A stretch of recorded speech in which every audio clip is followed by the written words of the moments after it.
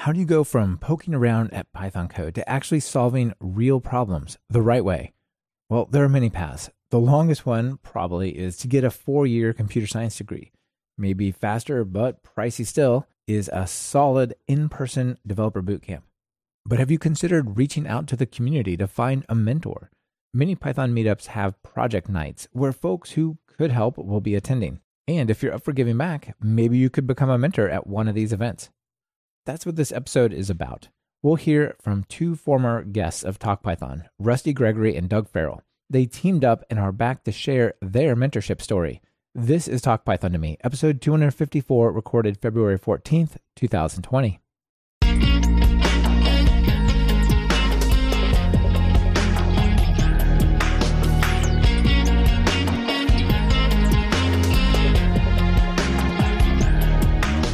Welcome to Talk Python to Me, a weekly podcast on Python, the language, the libraries, the ecosystem, and the personalities. This is your host, Michael Kennedy. Follow me on Twitter where I'm at mkennedy. Keep up with the show and listen to past episodes at talkpython.fm and follow the show on Twitter via at talkpython. This episode is sponsored by Brilliant.org and Linode. Please check out what they're offering during their segments. It really helps support the show. Rusty and Doug, welcome back to Talk Python to me. Thanks, Michael. Glad to be here. Good to be back. Yeah, it's great to have you back. So, Rusty, you were on on episode 194 previously about learning and teaching Python in a vacuum.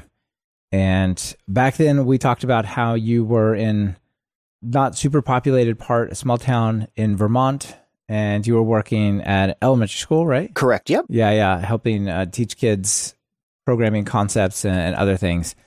And then Doug, we had you on back like 12 episodes before then. I was uh, teaching kindergarten directly and then uh, basically just kind of made sure everybody else could do whatever they needed to do with computers, uh, whether it was uh, teachers or students. And um, basically just kind of all around resource for people. We had another person that worked with uh, the equipment. I was the the people person, the bridge between the kind of the technology and uh, at all the students and teachers.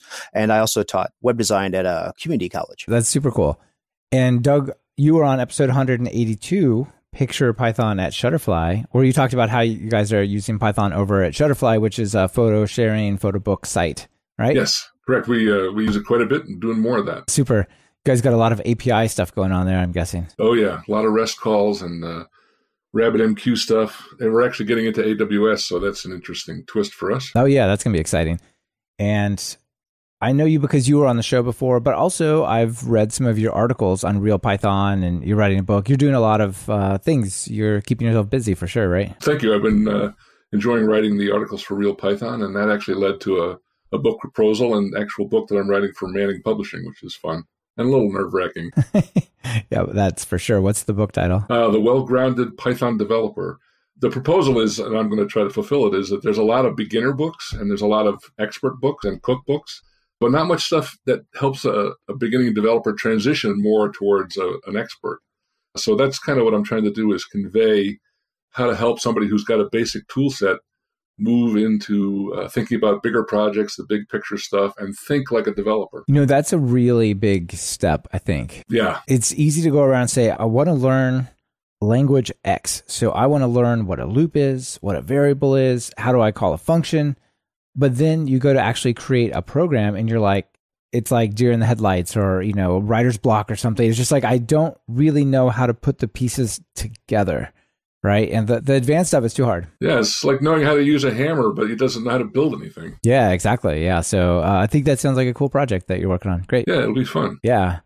So at the beginning, Rusty, I think maybe it would be fun. You talked about a little bit before we hit record about sort of the progress that you've made. So uh, maybe give people a sense of the challenges. You know, that was a really popular episode that you did with me way back when and I guess that's probably a year and a half ago. So it's it's been a while, but so you've made a lot of progress. And I guess to sum it up, like one of your main challenges was you're in this position where you need to have a fair amount of expertise in the software that you're working with, and yet being in a small town, it's really hard to go to meetups or to find folks to collaborate with. And if you're the only one at the place you work, well, that's also doesn't help, right? Yeah, that was. Uh, I was actually learning with a colleague of mine who was kind of interested in getting into Python a little bit, and so we were both learning at the same time. And then he promptly got another job with a different school district. So then I was uh, by myself again, and uh, it was you know, it's a lot more fun when you can bounce ideas off people and everything. So I was getting started to get a little bit frustrated. I was starting to want to be able to do more than I than I could. You know what I think is interesting is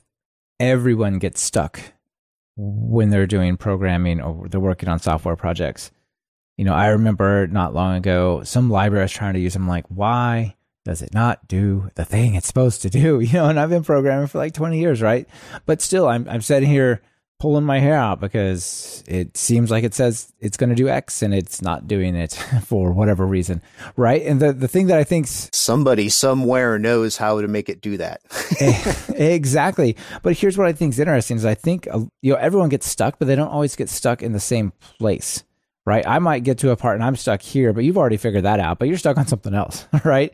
But if we could just talk to each other, go, "Hey, I tried this and I'm I'm stuck." Like, you know, I did that and it was yeah, I remember that was hard, but now here it is. Right? You can just like help each other over these little hurdles much easier if you can interact with somebody. Right. Stack Overflow's there, you know, when you have the time to, you know, craft a half an hour question about you know two lines of code to make sure you don't get ridiculed or or whatever's going to happen if you don't you know phrase your question in the correct way and show that you've you know tried all these other things and and yeah so there yes being able to just ask yeah. somebody that you know is is awesome. These public spaces that you can go like stack overflow or reddit or whatever they can be kind of rough. But let me tell you i learned to program when it required a book. When there was like hardly even any internet. And when you got stuck, it was like, you know what? Let's go get in the car and drive for 20 minutes and hope that there was a book at Barnes and Nobles or one of these other weird places that kept all these trees and buildings in square form. And you would go there and you would go through like so i guess the reason I, am putting out is like is kind of a love-hate relationship like i can type an error into stack into google and you know likely a stack overflow thing helps me nine out of ten times i don't have to ask the question right? But it, it can be rough to get out there and ask questions like, didn't you read the manual? Or that's a stupid way to do it, or whatever. You're like, well, how about you just say a better way to do it would be this because I only asked this way because this is the best I got, right? I'm trying to learn. Like, take it easy on me. Yeah, lots of times in the early days, you don't have the vocabulary to explain what it is, or you don't understand this concept that you want to go. Like for me, it was databases. Like I didn't even know how to get started or how to how to do things like that. So I had to like think through all that. You can't do that in a in a forum really. Right, right. It's too general. So yeah, so I guess long story short, or long question short, give us a quick update on what you've done. You've taken a couple of courses. Obviously, you found a great mentorship uh, story, which we're going to dig into. Uh, but just give us the recap. Yeah, it was great. So uh, when we talked last time, I was um, doing a few things, processing you know pictures and and writing a few little apps that interacted with uh, Google Sheets, and then I took um, a Java course, a Python course, and an Access course at the community college that I teach at because I was able to do them, you know, pretty much for free. And I only took Access because the SQL course kept getting canceled, so I figured that was the best I could do. And it's a, it, it worked out. I, I, understand, you know, that's uh, really like getting punished twice. Yeah, I wasn't happy, but I did it. Yeah, and then um, I got a call from Doug afterwards, which we'll talk about after we talked last time. And after Doug and I connected, I was able to build a Flask app that was like asynchronous play for this uh, board game that I was interested in. It was basically just um, it held your cards, you know, in between. But I built a dashboard for users, uh, put a database on it, notification emails when it was your turn. I was really just kind of I was spending like 25 hours a week on it at the time because I was using this thing called Wakatime that talks to Atom, and I think it works for uh, PyCharm as well. Cool. So Wakatime's like time tracking. If you want to know how you're spending your time. Yep. When you open up your editor, it, it keeps track what language you're using at the time. Oh, interesting. Yeah, and it was it's really great with Atom. I couldn't get it to work very well with Python uh, with uh, PyCharm, but uh, I'm sure there's a, a way to make that happen. Yeah. So I mean, that was just really exciting to go from I was a web guy before, but uh, to be able to make an app that did all these things was just blew me away. And I had a blast. And I, you know, try and stop me from coding on the weekend, getting up at seven in the morning and working on it. It was a good time. it's such a cool experience when you're like, just you wake up, you're like, I gotta, I got to get back to it. It I, really was, I'm yeah. not done. I still have these ideas. It's wonderful. Yeah, it was it was a lot of fun. It even made me want to put up with the question of like, can I download this in the App Store? You know, that's the first question I, sh- I would show it to people. I'd be so excited, be like, oh, can I? Da-? No, it's it's not an iOS app. It's it's actually a web app and it's in Python, and nobody really cares. But anyway, I was pretty excited. You just got to show them how to put like a little icon, like save a shortcut to the desktop. No, their eyes just glaze over after you say no. I hear you. I started to um, rebuild one of my first apps as well since then to try and do you know build on what I had, had done before and What was that experience like with uh, more experienced eyes? it was wonderful. I was able to go back in and just make everything so much simpler to, to read. I discovered uh, Flask sessions, which just made a world of difference. Once I was able to put things into a, a cookie then and persist it over pages was awesome because before I had had to come up with this hack that I was doing it. I went from sending it as a hidden piece in a web form, so every page had to be a form, to uh, Yeah. to figuring out how to do that. And yeah, it was it was good. It was really rewarding. Nice. Well, it sounds like you're making really, uh, really good progress there. And I now know about Waka Time, which is apparently a thing I'm going to have to dig Yeah, into check that out. for sure. And Doug, how about you? What have you been up to? You might not want to know. I have another article coming out on Real Python, which was insane to do with the book. And then uh, all of my free time, every spare second that's not uh, tied to work, is involved in the book. And then just work has been very busy. Uh, the fourth quarter for us is uh, insane. So it's been a very busy time. And then, right. yeah, so I've just been very busy with that stuff. Yeah. This is like the big holiday rush. Everyone's going to get photo books for Christmas or something like that, right? Yeah, the fourth quarter is like uh, huge. So Black Friday, that's like a a legitimate thing that makes the business go for you guys, right? Like gets you back in the black. Yeah, they put us. They put. They, they try to put like the police tape around the entire system so that we don't touch it after that, so it doesn't break. But uh, at the same time, Exactly. it's constantly uh, like wants new features. Can't have it both ways, can you? I know. Yeah, I saw a really cool joke cartoon type of thing, and it just said the first rule of programming is if it's not broke, don't touch it.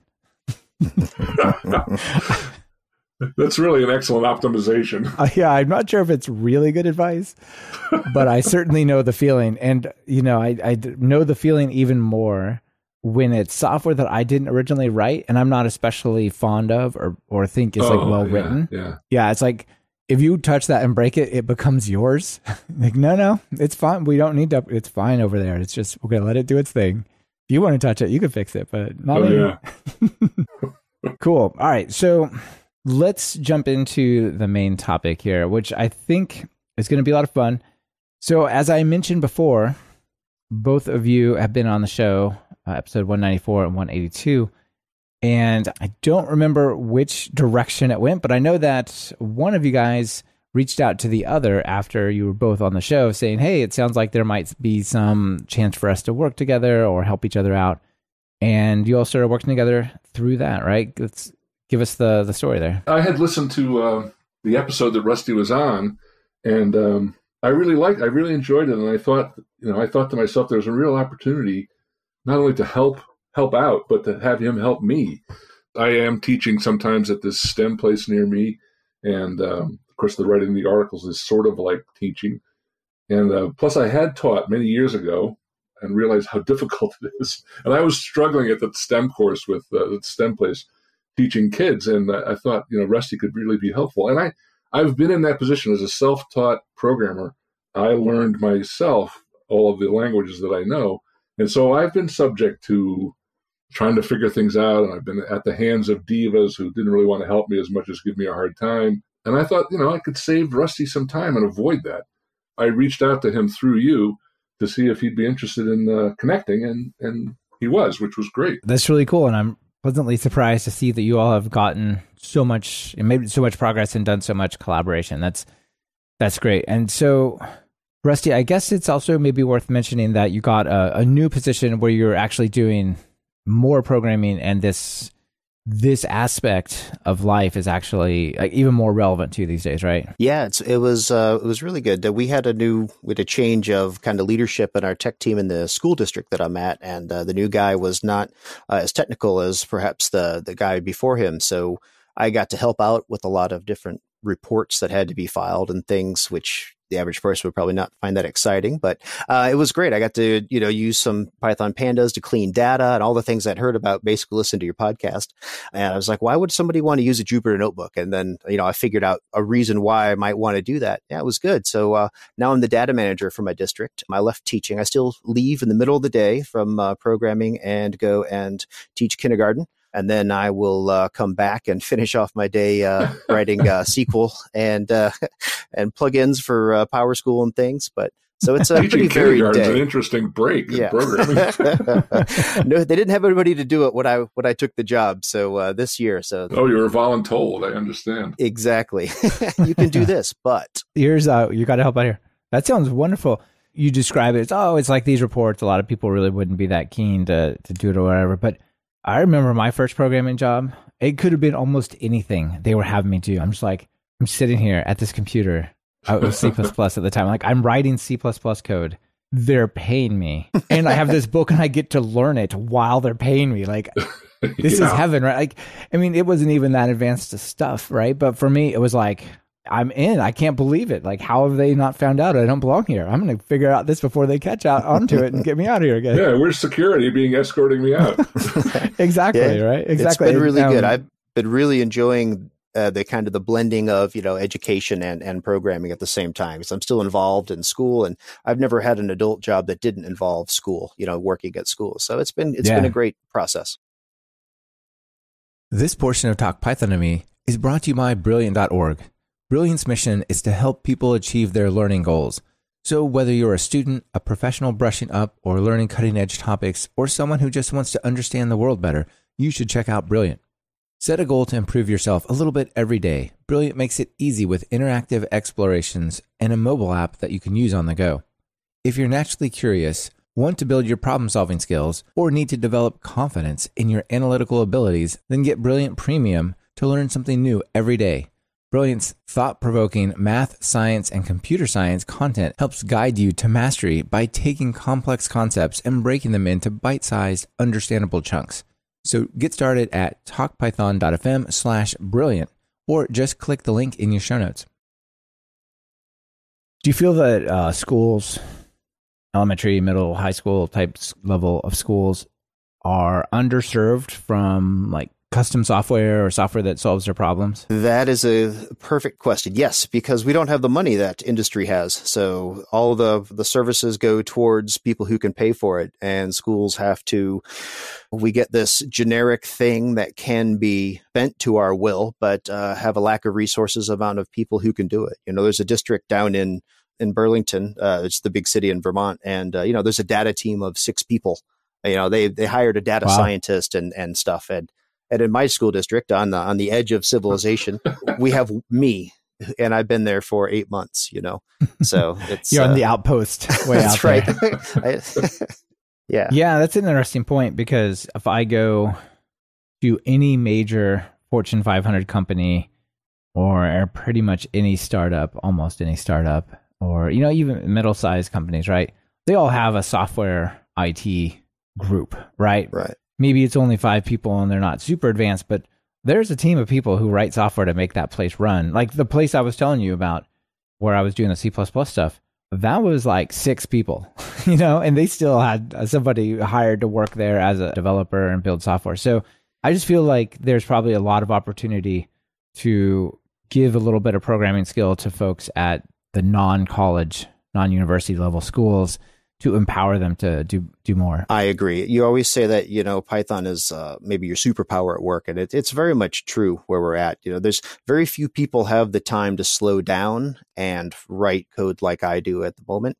The, a lot of people that have my job around the state, it's been added on. Oh yeah, you're going to do this data portion as well as whatever, Right, and yeah. I'm in the a pretty unique position where I was hired to do that. So it's it's been it's been great. That's cool, and, and you want to, right? You're not voluntold. exactly. Like I, I asked. nice. And Doug, you had mentioned that you're a self-taught developer, like I am. Yes. Mostly, I took I needed a couple of credits at the university for a minor in computer science and other types of stuff. But uh, for the most part, I'm pretty much self taught. So I, am pretty sympathetic about those sorts of challenges and whatnot. But maybe just give us the quick story of, of that for you, because I'm sure that'll resonate. I graduated with a BS in physics, which uh, I, I tell the joke all the time with a BS in physics, I'm completely qualified to get coffee for the other physicists. but, uh, my senior year, I did a project where we built a very primitive CAT scanner, which was a computer controlled CAT scanner, and I got hooked. I bought a Radio Shack color computer, taught myself uh, basic and a little bit of assembler, and uh, that was enough to get my first job as an engineer after college, uh, doing process control, and I was off and running doing programming. And yeah, I worked cool, in yeah. Fortran and Pascal and C, C++, PHP uh, and now Python and JavaScript quite a bit. yeah, you've seen a lot of them. That's that's super cool. Yeah, yeah. So that that starts bef- when there are books before the internet, before Stack Overflow, right? Oh, this was this starts before that, before books. This was like BBSs. so BBSs, that's like the internet that you go to that's really slow and it makes sound and only one person can be on at a time, right? Yeah, my education was continually slowed down by getting phone calls by from uh, friends. Yes. I remember that. We actually had two phone lines at my house just so my brothers and I could all be on either internet dial up or on BBSs at, at, the same time. And it was still a problem, right? Yeah. We'd, we'd have like call waiting come in and knock us off. And oh my God. all right. so fun, fun time. So tell me about what you guys worked on, especially in the beginning. I guess, Rusty, go ahead and maybe start this conversation out. Like, so Doug reached out to you, and you're like, "Yep, wait, this guy, just this random Who's guy this on the guy? internet that's really, yeah, that's really knowledgeable, wants to help me out. Like, what is this? And so, where did you start? And like, what was that like when you got that message? I had said earlier that well, I didn't say on the podcast, but it was great because Doug wanted to exchange kind of some teaching knowledge with Python knowledge, and I said that uh, I basically won the lottery and got a somebody who knew exactly what I wanted, and Doug lost out because he's already a good teacher, but I still needed lots of help. So. I just started asking questions. I wanted to go further with a Flask and uh, started to build that, you know, database app, the kind of uh, asynchronous kind of card playing app. And uh, I had no experience with uh, with databases or not, so he kind of showed me. Uh, luckily, he was writing a, an article on something very similar, and kind of talked me through starting to use SQLAlchemy and uh, it just kind of got started and i asked him questions about database design and uh, i would i would craft emails and then you know there's a we had a one or two de- day delay just because we're both busy people and that's how we kind of started. And then um, i started to ask more and more questions and it helped a lot that we had uh, a lot of common ground. We're both cyclists. It, we both enjoyed python and teaching so there was a lot of uh, you know banter and i I tend to try and ask a lot of personal questions when I'm working with people as well, just to kind of get to know them better. So, started to uh, build my app, and and uh, I was able to go, you know, and say, "Hey, I'm having problems with this." I didn't have to explain everything from the beginning, or um, yeah, it was just a really wonderful experience for me to be able to uh, just have get stuck, and you know, within a day be completely unstuck, and probably looking at a different feature. Yeah, that's really interesting. You know, like those types of assistance or whatever, when you're new, you can be stuck on something for like five hours. And you're like, this, I just don't know. I just tried everything. And somebody who's, you know, gone through it a few times, like, oh, yeah, that's confusing. But when I figured it out, it was X, right? And then, so there's a lot of effort and potentially for like staying in touch and coordinating. But sometimes you can just look at something, go, oh, that's really easy. And it's, it's just such a, a, service to you, right? To just be able to receive that and go, oh my gosh, right? I, um, I so appreciate it. Whereas like the person who did it, like it's okay. Well, I just called it out of my memory, right? I kind of know, right? Yeah, I put everything on GitHub. I was starting to get uh, big into GitHub uh, as much. I'm still afraid that I'm not going to be able to recover what uh, you know two or three versions back. I still don't have that much faith in it, but it was good to be able to have everything there. So you've moved on past the I've made some progress on this project. Let me zip up the directory and give it like a version number. yeah. Doug, you're laughing. Have you seen that as well? I knew GitHub. I knew GitHub was great before I knew how to use it. yeah. So we were able to do that, and then I could just say, "Hey, you know, I've I've done the update," and, and Doug could pull it down on his end and and run it and see what the error was or whatever it might be that way. So that was pretty cool. I always made sure that before I asked a question, I wasn't going to waste his time, that I had exhausted everything So it wasn't a flippant, oh, I'm stuck for five minutes, go and do this. It was, you know, I'm really stuck here, so now I'm going to have to ask. Yeah, yeah. I, I, you know, I have some folks who periodically ask me questions, whatever, and when it's like that, I totally don't mind. It's like fine, right? The thing is, you know, you, sometimes you have people who are just like, well, this isn't working. Why? And, you know, it's pretty obvious that like a little bit of take the error message, put it in Google, would come up with a really good answer. Uh, you know, it's one of those types of things, and yeah, so that's really, I think, an important part of trying to make something like this work is if you're going to work with Doug and ask him questions and, you know, basically take some of his extra time and energy because he's got so much when he's not working on his book or his bookicles, book articles, or all the other stuff he's doing, that it's really like, you know, that someone's put a lot of effort into it. Because then it's like, okay, well, they really tried and they're really stuck and I can probably help them as opposed to just, this person didn't even Google it. Like, I really don't want to, you know. it really was a lot more. yeah, sometimes uh, so people will shoot me a, a message and they'll say, "Could you help me with this?" I'm really. It's like clearly not like from one of my courses or from an episode. It's just like random Python question. I'll take the question, put it in Google, grab the link one, and shoot it back to him. Go, how about this? Oh my gosh, that totally fixed it. Like that's an incredible skill. I, yeah, incredible skill. Need to let me Google that for you. Is a site. It, I it know. Was, is it still? Is that still a thing? Yeah, it was mostly concepts that when I would get to uh, to ask, you know, that's I needed to know how to go about something, and I had to be careful because Doug would actually just write me the program and uh, send it back and i would be like oh my god how long did this take? And it was like a complete you know ajax program that uh, updated your database for you. It wasn't exactly what i was doing so i would still have to create my own but it was a, a working example of here this is what it might look like and then i could go into it and dissect it. I would have to be like okay i'm at work right now. I'm going to need three hours at home to like look through all this that he's just sent me, and so it was pretty good that way. That's awesome. For me, that was the key with uh, Russell was that he would always ask me. You know, I could see that he had looked for stuff and well researched and intelligent questions, which was great for me because I, you know, I don't have a lot of time to spend. But the other thing was that I, I often didn't give him complete solutions. I would do the left as an exercise for the reader kind of thing, where I would give him a give him a sample that I knew that he could extend and extrapolate from in order to solve the bigger problems he was he was facing. Right. Like here's a really really pr- simple proof of concept of like some Ajax thing or something, right? Yeah. some of the things were just just uh, conceptual Python stuff, like you know moving away from everything as a dictionary. Dictionaries are extraordinarily powerful, but to get into object oriented stuff, it's kind of a hurdle. But it has a really great use, and I knew that I wanted to take him, you know, from from dictionaries to object oriented, and then on to SQLAlchemy which of course is dependent on objects to get into databases. Yeah, absolutely. I think SQLAlchemy is really special, and ORMs in general.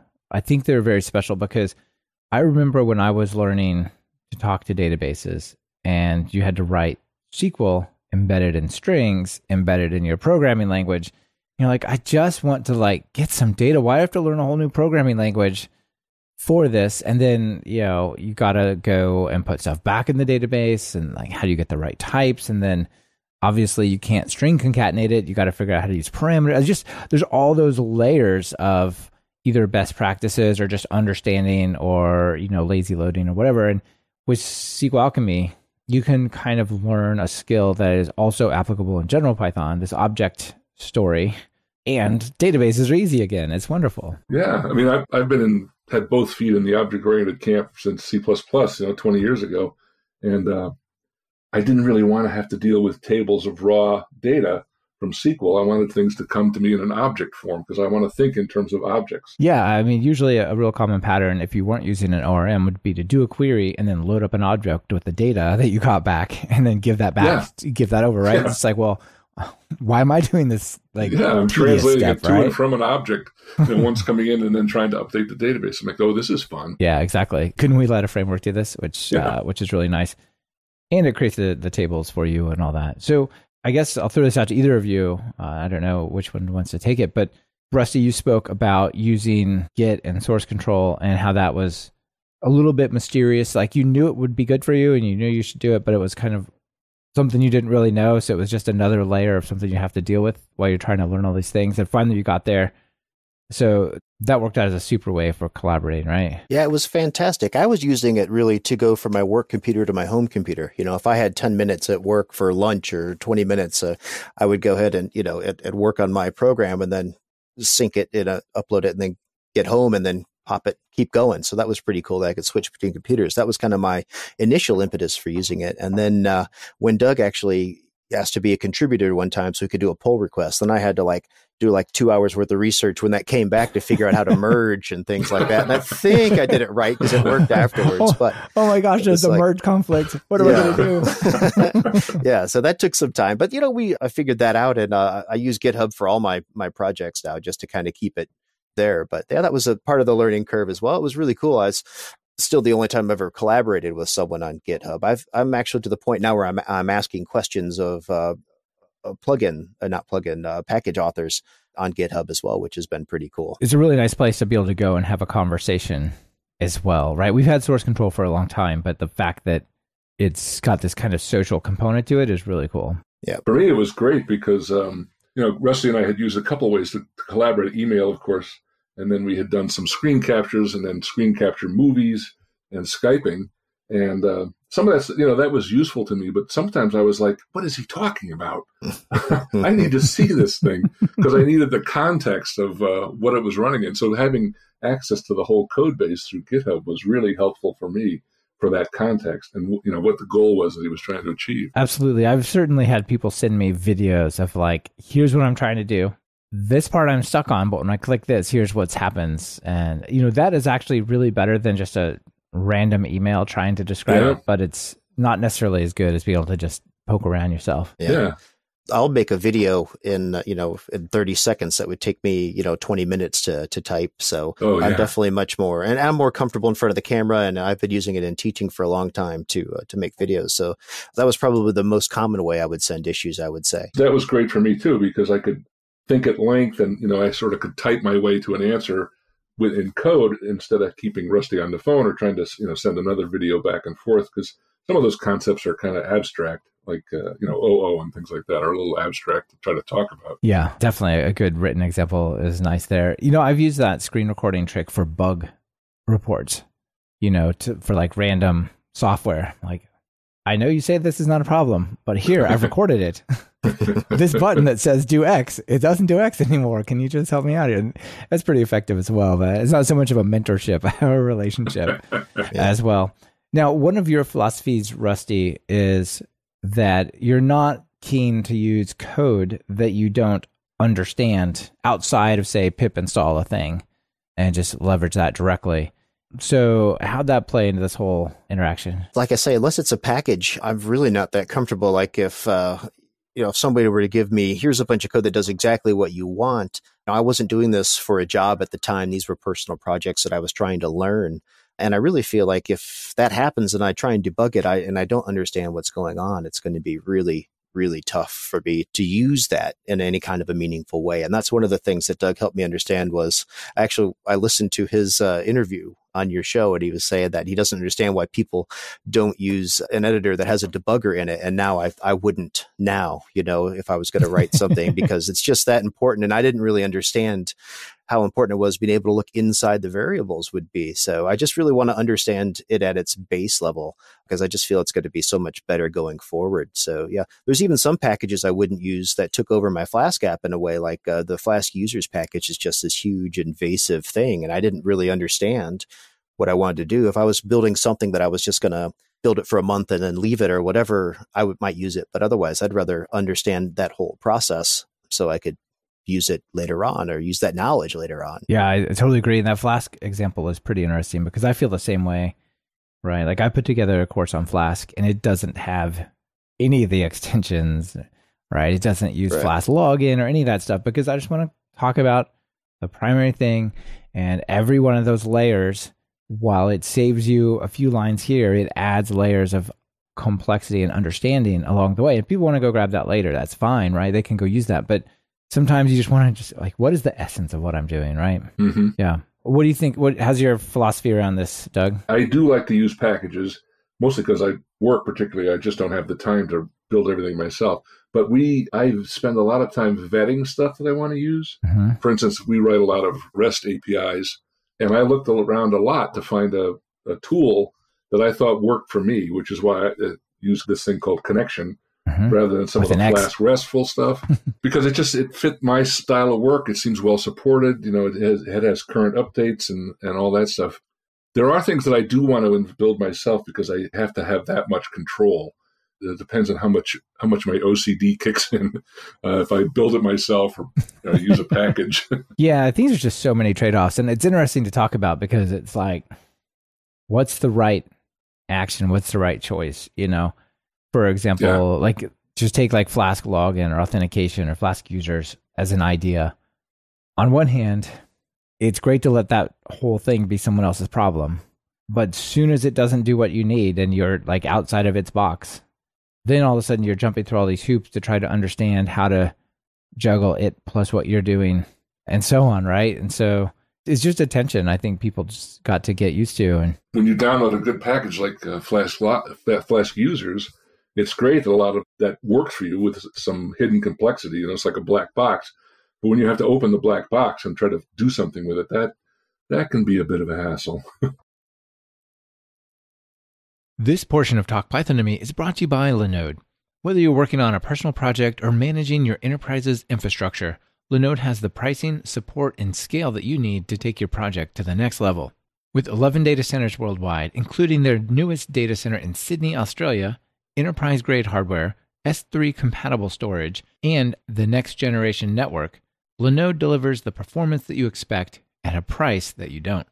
Get started on Linode today with a $20 credit and you get access to native SSD storage, a 40 gigabit network, industry leading processors, their revamped cloud manager at cloud.linode.com, root access to your server, along with their newest API and a Python CLI. Just visit talkpython.fm slash Linode when creating a new Linode account, and you'll automatically get $20 credit for your next project. Oh, and one last thing. They're hiring. Go to linode.com slash careers to find out more. Let them know that we sent you. One of the things I think could be really helpful from a mentor mentee relationship is when you're new in writing code, and I kind of touched on this a little bit earlier, Rusty, when I asked you the question about going back to your other project, is a lot of times beginners when they're working on something they're like if i can just get this to work that's it. It's working now. Right? But then there's the oh this is not very pythonic or did you know that python has this language feature that like makes those five lines be one? And it's real simple. Or even there's a standard library thing like why are you sorting this by hand? You know what i mean? Things like that. So maybe talk a little bit about kind of helped him make his code more Pythonic or make it a little more professional or whatever? Well, I guess one of the early things that I did or I tried to do is um, when we first started working together on the Flask app that uh, Rusty put together, I recall it being a single file. It was a single Python file. And um, for me, I got, you know, I looked at that and I said, oh, this is, I, it's hard for me to keep all of what's happened, this giant file in my mental model all at once.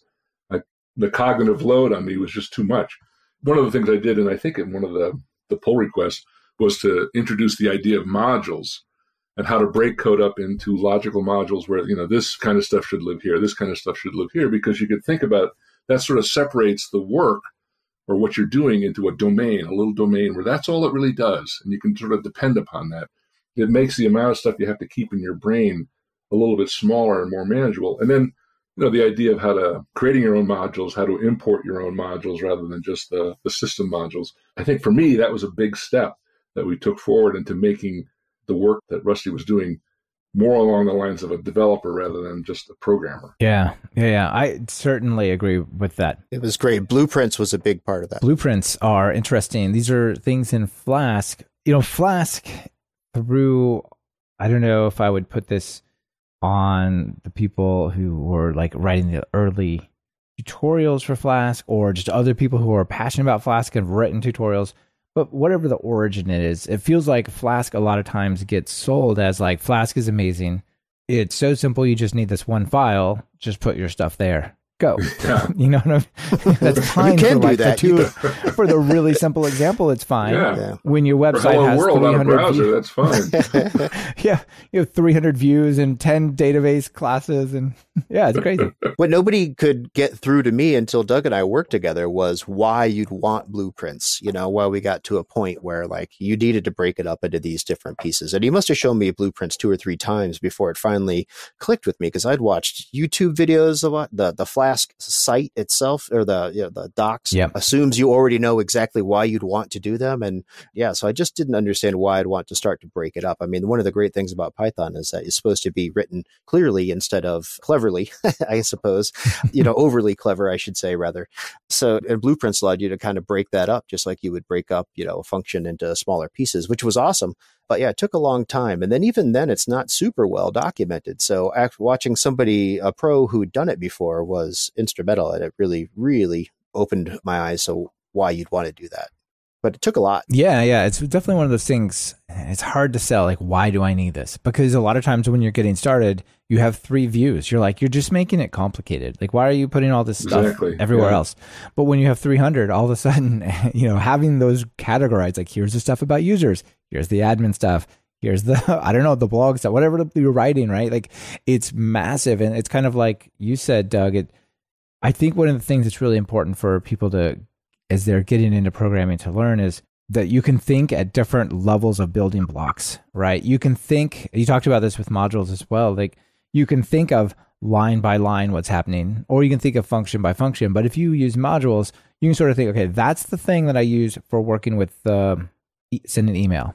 And I go to it and I say send email, send debug message, send error. And that's I don't care what how that happens. I just ask it to do those three things. And so now you're just thinking at the here's my email building blocks for the rest of my app. And so there's like these different conceptual layers that you go and if being productive is really about identifying the right level and thinking of, Mhm. those Lego pieces, right? Oh yeah, I mean, you know, that whole why would I want to do this?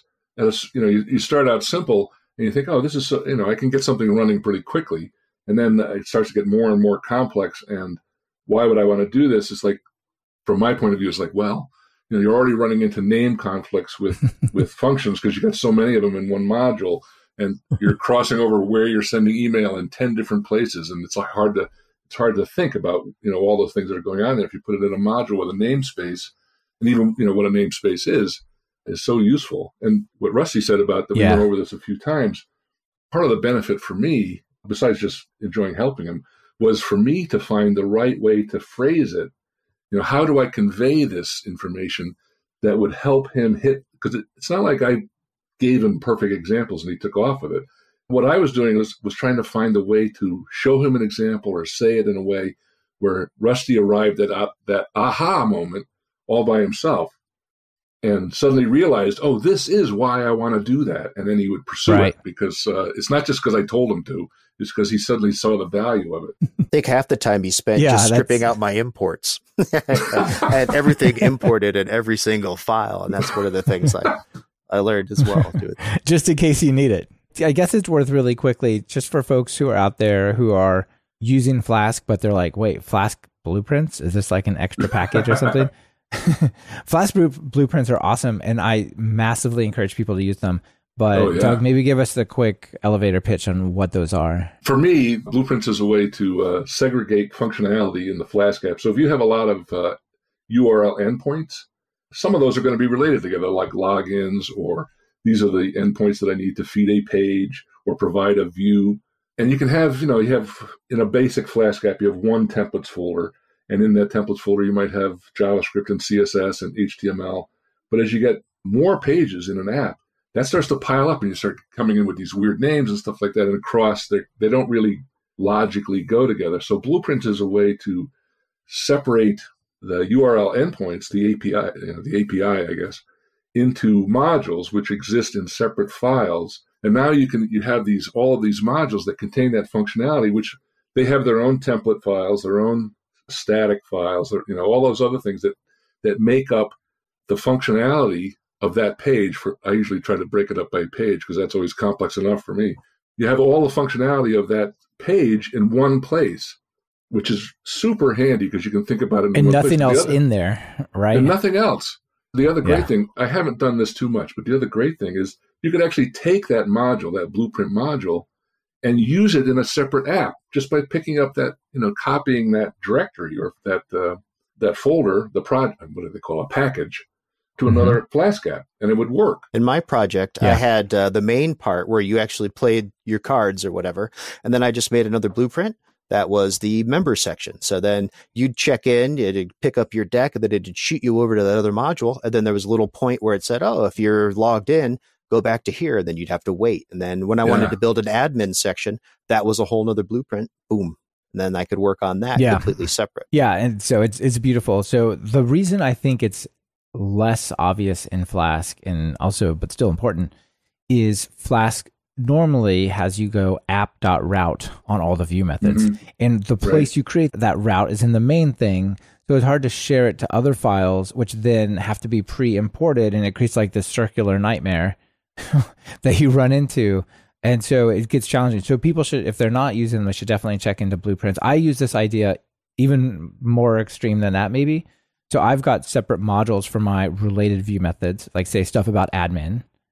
And then there's functions in there that handle the views. And then I have my templates organized that way as well. So my template folders has maybe an admin subfolder and then the names of the template files or the names of the functions. So there's like this kind of hierarchy of I'm here, I know exactly where to go. There's not 500 templates in one file. And I also use uh, this idea of view models, which is like uh, classes that exchange and validate the data between the HTML request and the rest of your site. So like this data comes from the URL, this data comes from the the form, this data comes from a header. Let's validate that and pass it on. And those also have the same structure, right? They're view models and then the module name and then the name that's associated. So I, I really love this idea of organizing it. It just it means like almost no matter how complex your project grows, you just follow it's like a little tree traversal and you you found what you need on all the different Yep. layers. I love Yep. it. I think that's a really valuable part of uh, blueprints. I think what one of the things you're alluding to, one of the more difficult parts of using blueprints as a not being familiar with it, is that idea of the app, the app instance, and how to how to share that in the other the other modules in the blueprints. Still working do- on that one. Yeah, because you, you create it in the in the main Flask app, and then how do you access it elsewhere? That's I that's think hard that- to get. your Right. I tried. around. It said I couldn't. Python crashed. It won't let me. you start breaking up your code like this, you need to do it before you understand why. You reach a point past where you should have done it, and then you start to understand that maybe I needed to start doing that. So having somebody there to kind of help you along with that process was is pretty key. Yeah, to kind of precipitate it and get it started. That's for sure. So, what are some of the other tools you talked about using GitHub? You talked about recording, like sharing screen recordings. What are some of the other communication uh, tooling that you use? Well, we just talked on the phone. Yep. It was harder to set up because we're both busy folks. So it's harder. It was harder to get the actual uh, conversations, but it was great. So I would say every couple weeks we chat on the phone, and then we actually set up a, a video conference once as well, Yep. which was good. That was that took a lot of doing to make sure we were both at a place because you know you can't do that necessarily quickly at work or whatever. Yeah, that can be challenging. It's yeah. also fortunate that uh, Rusty and I are both on the East Coast, so there's no time zone issue for that video conferencing or trying to share a Skype call or something. Yeah, I do think that the tooling is around to make this much more possible for distributed folks. It's not Mhm. like, well, I've got to find somebody in my town to help, which that may be great, right? It may be great to find someone locally because then you could just, hey, every Wednesday, let's get lunch together and we'll bring our laptops or, or something like that. But, you know, that limits the options of who you can work with pretty dramatically if you restrict it to your town versus the world. Well, one of the other things that I tried to do, which I think is important uh, you know, for me as a mentor, is that I try to be responsive to Rusty. That he sends me, you know, a question or he's updated his uh, the Git re- the Git repository and asked me something about it. Is that I try to look at it pretty quickly because one, I want to help him, but two, I don't want to fall behind where he's he's moved on because he hasn't heard from me, and you know, suddenly my assistance is irrelevant. Right, right, right. You've already gone so far to help him out. You gotta gotta keep going. Uh, how, Doug? How did you work with the? I, I guess there's probably this tension around: Am I just doing the work for him versus teaching him? You know, give him a fish versus teaching him to fish. I guess. yeah, well, I think about that a lot because I teach at a STEM place where, uh, with kids, you know, that range from age from eight to sixteen, and um, they'd be happy to have me give them all the fish I have rather than figure it out themselves. So I'm onto that trick. Not that Rusty does that, but uh, oftentimes I, I, guess one of the th- I guess I do two things. I don't try to solve the entire problem for him, and I'll give him a working example, but it's really a prototype that he's going to have to extrapolate from in order to do everything that he intends to do. And then the other thing I, I try to do is I really try to listen more than talk because I've found, I'm sure both of you have seen this uh, over time. Uh, over time, listening more gives the person a chance to put their thoughts into words in a way that they're trying to explain it to yeah. me. If I just keep nodding, some quite often they come to the solution themselves by the act of expressing it. Yeah, you've kind of shaken up their thought patterns and got them to focus from a different perspective, right? Yep. To try to verbalize it and whatnot. And yeah, silence is powerful. Yeah.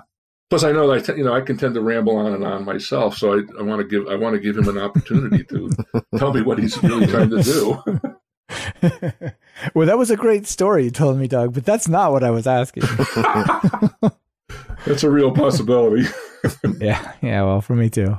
So this sounds like this has been working out really well for you guys, and certainly I think it's great, Rusty, that you've got this job where it sounds just looking in from the outside, it sounds to me like you've leveled up a little bit in terms of what you're doing with Python and with code and the impact that you're able to have doing more uh, analysis of what's going on and so on. And I'm sure this this hasn't hurt that process at all. So it sounds like it's going really well. And I guess maybe the last thing I'd like to explore while we're together is just, you know, how do we help other people make these connections and help each other out and, you know, get get uh, benefits on both sides? Well, it's a tough one. I think before I actually connected with you to talk about, you know, kind of learning Python by myself, I'd gone to a couple meetups in Burlington. And, uh, mm-hmm. so, you know, for me, it's an hour drive down there, an hour drive home. And, and stuff. And I, I, ended up there and everybody there is like working at a startup and, you know, is, is pretty savvy and uh, we had this like we're doing this with Dockers, and here's the right, thing on yeah. Kubernetes cluster. You're like, yes, what is a was, loop? It was a lot of people who knew each other, you know, from different projects and stuff. You know, it was kind of a, a an old boys club kind of thing, or a young boys club, I guess. And I had we had a presentation uh, one night when I was there. There's a bunch of different organizations came out and said what they were doing with code in the area, and I would actually I was thinking to myself, well, I'm just gonna next time there's one of these things, I'm going to show up with a slideshow and say, Hey, I want to try and bring, you know, coding to Franklin County as a teacher. And if I could have a mentor, I think I could get to the point where I could do that kind of thing. So I was not necessarily that desperate, but I was like, that was like my next big plan because I didn't really have anything else up my sleeve, you know, to try and make connections as far as that goes. It is tricky. I do think these meetups are, are very valuable. People are pretty humble or they're not really, you know, they even though I'm sure people are doing stuff that sounds intimidating, I don't find very many people are condescending, I guess is what right. the word I was looking for. Is like they're pretty welcoming of newcomers, especially in the Python meetups. And so I do think coming out to these are you can really make some good connections at them. Yep this was uh general like I don't, I don't think there is there is a python group there but it never has a meetup so it was just kind of a general code it was a you know it was a comfortable atmosphere but i wasn't necessarily going to walk out you know with uh, the kind of connections that i was looking for i don't know i think i just kind of got lucky to get uh, connected with doug so yeah I don't yeah. know that I have it's funny how yeah, it's funny how life takes these turns, right? Yeah. Doug, what do you think about finding mentors? Well, I, I think for me is um, it's interesting. You know, I approached I approached Rusty because I there were some things that I I wanted to help him with, but there's also some things I wanted to help me with, and so it's kind of a two way street about the mentoring. But I, I, think part of it is just asking someone to do so is probably a big thing. I, I go to a Python meetup in Hartford, Connecticut, and um, I've given presentations there, and I've met a lot of people, and some people you know have gotten in touch with me afterwards, and you know enjoyed the presentation or whatever. But uh, very few of them have asked me for help. And at the at the meetup, it was clear to me that they were really looking for help. And I, and I thought, just ask me. You know, why not? Yeah. What's what, yeah. just you know the worst that could happen is somebody says no. I don't know how prevalent this is, and I honestly haven't been to it here in Portland, but at least in Portland, one of the Python meetups here has like a weekly, I'm sorry, not weekly, a monthly project night or something mm-hmm. where you just come whatever come with whatever project you're working on and you could just talk to other people and either they have a project or they're just there to give advice or whatever. And that seems like a really great thing to set up if it doesn't exist near you. I suggested that to the guy who runs the, the Hartford meetup that I've gone to. You know, they usually have two presentations a night, and then he's had hackathon kind of things, but they're sort of free form. And I and I suggested to him that they they might do exactly what you suggested is a, a tutorial night where people somebody comes and they focus on a thing and they do and mm-hmm. they work on that thing to try to kind of like a class, I guess. Uh, yeah, yeah. Like things. we'll we'll do a hands-on workshop on SQLAlchemy or something yeah. like that. Yeah, exactly. Yeah. You know, another thing I'll throw out there, it's it doesn't work for super super beginner, but it does work I think for even intermediate like ed, sort of advanced beginner, I guess I would call it. Is one of the things that really changed the interaction and trajectory for me was when I started doing presentations at my local yeah. meetup yeah. and at code camps because other people who were really bright and really experienced like oh that was really interesting. I didn't know that thing but they knew other stuff that i definitely needed help with right? And so i had dove into some small area and wanted to present on it and that got me sort of connections not exactly like a mentorship but like a peer group that i could then start talking to them about these other things that i needed. And that that actually really made a huge difference. And i know a lot of these meetups they're looking for people to present and you don't have to be an expert mm-hmm. in everything. If you just know one thing you can spend 15 minutes on there's a good chance you could talk about it and get connections you would otherwise wouldn't. No absolutely. I mean i got i got started writing articles to publish because i was doing uh, presentations at at works at our various engineering all hands at work. And um, people responded well to these presentations about you know various things in python. And i got the idea to turn them into some articles and um, you know, I've been working with Dan Bader at Real Python, he, and they've been very popular. So it just that's what got me into that. I think the the short form, I think, is probably the the key there to getting people up to present. You know, if you only had ten minutes or fifteen minutes to to say something, that's a lot less intimidating than if you, you know you were going to give you know a half hour, forty five minute presentation, yeah. and then take questions. You know, if you right. could, you know, everybody stand up and do like a lightning, you know, here's 10 or 15 minutes. lightning talk, yeah. Doing. Yeah. Yeah, absolutely. I think that would be huge. I don't know. I guess part of it is look, if you're looking for a mentor, you've got to take a few steps to get out there, right? Certainly, sitting behind your computer at home and not talking to anyone is not going to get anyone to help you because they don't even know that you're out there. But also, you know, it, it's also a bit of a give and take, right? Like you said, you both helped each other with various things and whatnot. I guess the one other thing to maybe mention is there are people who help with speaking in the Python space. Like if you apply to PyCon, you can get a mentor that'll help you craft your application and craft your presentation. Basically, mm-hmm. the whatever it is you're going to present, they'll give you feedback and advice on on that. I guess the danger is that they accept it. yeah, then you're committed. oh, we've chosen you for the keynote. Oh, super. Oh my god. This is going to make me sweat. But yeah, it's uh it's still I think I do think there's ways out there. I mean, obviously there's communities you can join like different Slack communities and whatnot. There's codementor.io. I've never used them. Not a recommendation or endorsement. I just know they're out there and you can I think it might even be a paid relationship. But if you're like, I really need somebody to help me with this project, and if I spent a month or two, maybe you know, with one-on-one help, it might help. So that you know, that's another thing that you could could do. I don't know if anyone has experience with that. No, no, yeah. I went to uh, this is a long time ago now, but I went to Toastmasters near me for oh, a yeah. while to help with public speaking, which is not necessarily it's certainly not code oriented, but it helped me a lot to improve my public speaking. I wish a lot of people who I work with would go. sure. Well, I hear you. And I was going to say that one of the real, really important things that you can learn that is not taught in any sort of computer programming background is this public speaking, putting yourself out there. Yeah. It really makes a big difference on a lot of different levels. And so, oh, whether it's Toastmasters or it's more like organic, hey, I started giving talks at my local meetup and then at, you know, small local PyCons or whatever, like I highly encourage it. It's a rare skill, and if you have it, it'll put you in yep. a, a, different been, place. Oh, I really think it helps your career to, to, be able to do that. I've been telling my own kids that for a long time, dealing with kids, you know, in public schools and things like Yeah. that. That if they can just communicate and get their information out there, and they don't mind putting themselves out there a little bit, that's going to be that's going to be like Python. It's going to be like your superpower at work Yes. if you can Yeah. actually communicate it. Because you know these kids have their heads in their phones, and you know I'm not saying that's horrible, but uh, there's not a lot of my own children are scared to call people on the phone. You know, it's uh, yeah, yeah, yeah. I, I know, like So, my daughters public are not huge fans of talking on the phone either. yeah. I think they mostly hate the numbering system. Dial 472 for this system or whatever, right? So I understand it. Like they don't want to wait there for 20 minutes. But yeah, I do think that this is a skill that is going to be more special, not less. It's not like everyone's now a good speaker. When I was a kid, no one Yeah. was, but now everyone's so good at public. Like, no, that's not true, right? it's certainly not. So I think it's really a, a great thing as well. I mean, it's not directly related to being a mentor in a technical space, but I do think having that, you know, I think it helps you with other places, like I talked about, like presenting at meetups and whatnot. Sure, yeah, and which gives you an opportunity to meet other people who you could either ask to be a mentor or be a mentor to. Yeah, absolutely. Yeah, that's very cool.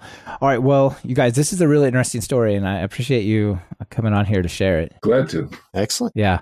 And Doug, I do want to ask you really quickly before we move on to the last two questions. Uh, just really quick, you talked about your book. When's it going to be out? Well, it won't be out probably till 2021 because it's uh, I've only gotten four chapters written and I've got uh, 16, uh, 16 total to do, so I got a while while to go. but I'm supposed to be producing one chapter a month for the Manning's early release program, so I'll be ch- chugging away. That's cool. Well, keep slow and steady. Right, that's the way to do it. That's it's cool though. I'm looking forward to it. Sounds great. Yeah, thank you. All right, now before you all get out of here, the last two questions. So, when you write some Python code, I'll go with you, Doug, first. What editor do you use? I primarily use uh, PyCharm, which I really like, but I'm ba- getting up to speed on uh, Visual Studio Code because that's what I recommend in the book because it's freely available and it's a great Yeah. tool. Yeah, those are both really good. Obviously, I'm a huge fan of PyCharm, uh, but basically, I use VS Code for anything that's not a Python project Mhm. as well. So, yeah, yeah, it's, it's definitely a good one. Uh, Rusty, how about you? I prefer Atom if I'm going to do something that's a one off or uh, if I'm going to be working in multiple languages. Or Jupyter Notebooks has been really big for me this year as well. And uh, if it's a big project, I do PyCharm. But uh, like I say, I'm in a relationship with PyCharm, but willing to try new things. I'm really lost all of my love for it. My PyCharm stopped telling me when my functions are used or it stops telling me if I need an import and things like that. And I can't figure out how to fix it. So, uh, yeah. Oh, that's not good. ship There, soon. there is a way in the settings that you can go in and tell it to clear its cache. I've done it all. Okay, well, oh, what a bummer. yeah. All right, cool. Well, um, yeah. So Atom, that's cool. That's like the grandfather of VS Code in a sense, uh, I guess. That's where Electron came from, right? I really like it. It's really, really, really customizable and really fun. And until I really enjoyed it until Doug convinced me that uh, I needed a debugger, and there's no there's no good debugger built in. Yeah. So yeah, I had to switch. Yeah. I couldn't let him go down the path of being one of those Vim guys who just loads his code with print statements. nice. Nice, nice. And while we're talking about this, it's not either of your answers, but let me just throw it out because it's it's pretty interesting. So, Rusty, you bring up Jupyter Notebooks, which is super common in the data world. Have either of you all heard about CarNets? C A R N E T S. No. No. So CarNets is an open source, free, local Jupyter Notebook platform for iOS. Wow. Interesting. Ah. So yeah, it comes with like NumPy, SciPy, Matplotlib, all that, and it runs like on the device, not just a browser talking to something. So it works with no internet and stuff like that. Anyway, who knows how long it'll be till someone says that's their answer, but it's still a pretty cool little option uh, to tell people about. That's All right. cool. Yeah, for sure. And then uh, notable PyPI packages. Uh, Doug, you want to go first? Well, I have I have two kind of that. that one is not a PyPI package. I've been using uh, PyEnv to run multiple Python versions, which I find Right. fantastic. Uh, very handy. I was just thinking this morning, like I should probably start playing with that more because it is. It was nice to say this one is a three six one and this one is a three eight one, yeah. right? And with the book, I'm I've been I've had to update my uh, Python version for the book twice already. it's probably gonna happen two more times. Yeah, right, exactly. and then the other one that I like, I just discovered this a couple of days ago, is this thing called JustPy, all one word. It's a object-oriented web framework, but everything is done in Python, including the rich uh, JavaScript web application, which uses Vue. But is embedded in the in the Python. Yeah, this is really interesting over at justpy.io. I just learned about it as well, and it's like, yeah, it's a pretty cool little Yeah. framework for sure. Cool. All right. Well, that's a good recommendation as well. I have no idea if you can pip install it, but it's definitely cool. Rusty, how about you? Package?